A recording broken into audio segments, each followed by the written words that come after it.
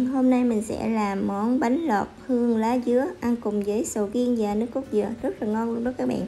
Bây giờ mình mời các bạn cùng xem cách làm. Và đây là nguyên liệu mình chuẩn bị làm món bánh lọt hương lá dứa này các bạn. Mình có 150g bột gạo và 150g bột năng, 500g nước cốt dừa, 250ml nước lá dứa và 200g đường Dạ, và 400g sầu riêng.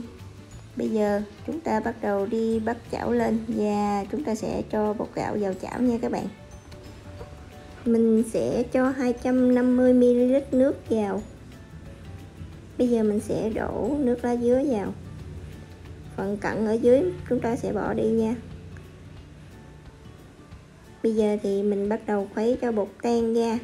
Và mình sẽ khuấy đến khi nào bột sánh đặt lại luôn nha.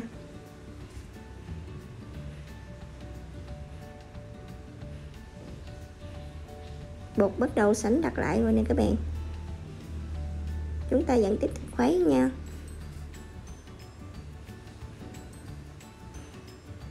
Chúng ta khuấy đến như vậy là chúng ta bắt đầu tắt bếp nha các bạn.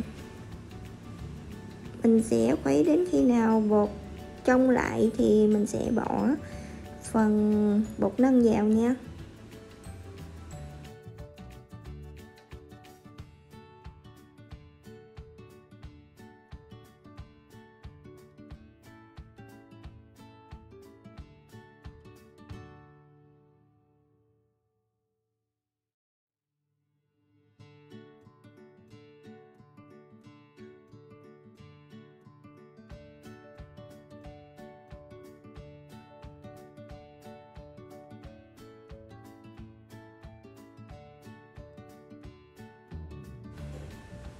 Mình khuấy đến bột như vậy là được nha các bạn. Bây giờ mình bắt đầu bỏ bột năng vào.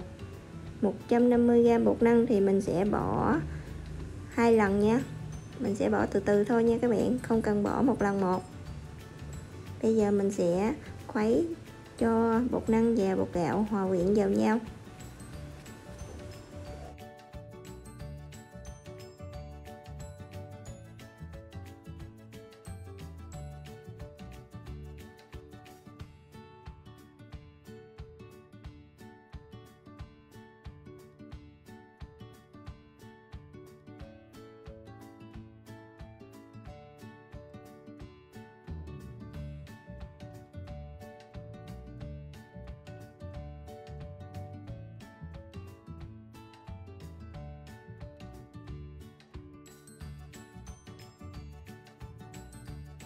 Bây giờ mình sẽ bỏ phần bột năng còn lại vào khuấy nữa nha.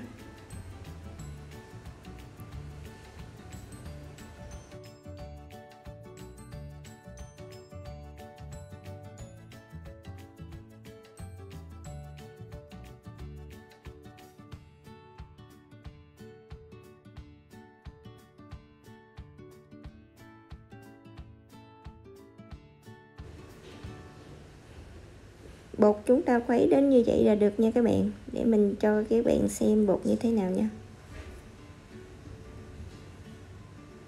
Bột như vậy là được đó các bạn. Bây giờ chúng ta bắt đầu bắt nồi nước lên. Và mình sẽ dùng cái khuôn này để làm bánh lọt. Bây giờ mình sẽ bỏ khuôn lên trên nồi. Và mình múc một ít bột lên. Chúng ta sẽ ấn nhẹ xuống. Như vậy là những con lọt đã rớt vào nồi rồi đó các bạn. Để một chút mình sẽ dở lên cho các bạn xem như thế nào nha. Và đây, rất là ngon luôn. Nhìn rất là đẹp luôn, đúng không các bạn?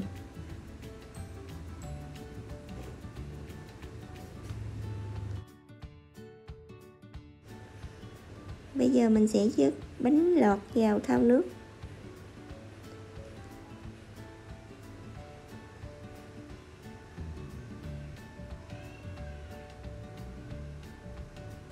Chúng ta sẽ dớt bánh lọt vào thau nước trước, rồi chúng ta sẽ bỏ vào thau nước đá.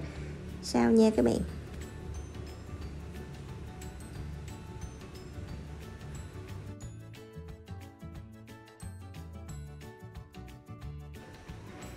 Bánh lọt mình đã vớt vào thao nước rồi nè các bạn. Bây giờ mình sẽ bắt đầu đi bắt nồi lên và cho một chén nước vào để chúng ta nấu nước đường nha.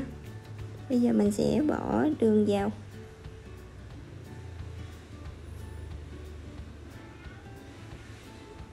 Mình sẽ quậy cho đường tan ra. Tiếp theo mình sẽ cho một cọng lá dứa vào cho phần nước đường thơm nhé. Bây giờ thì mình sẽ chờ đến khi nào nước đường sôi là chúng ta sẽ tắt bếp nha các bạn.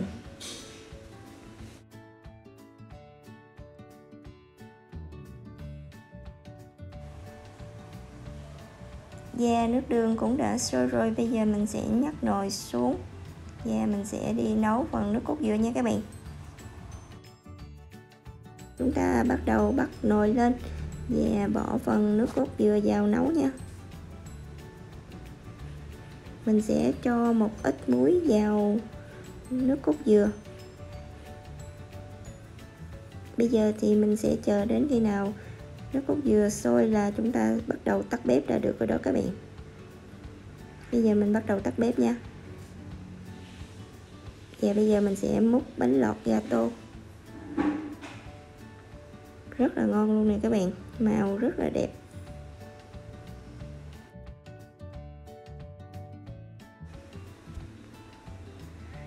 Mình đã múc bánh lọt xong rồi, bây giờ mình sẽ cho một ít nước đường vào.